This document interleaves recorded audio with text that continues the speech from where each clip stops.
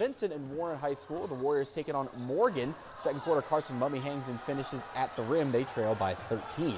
Now less than a minute left in the half. Colin Anthony puts up the teardrop and misses, but Hayden Wells is there for the rebound and the putback. Warren leads it 34 to 17 in the final seconds of the half. Julian Stadelman dribbles down court, stops on a dime, pulls up from three, and knocks that one in at the buzzer. Warren leads it by 20 at the half. We move to the third.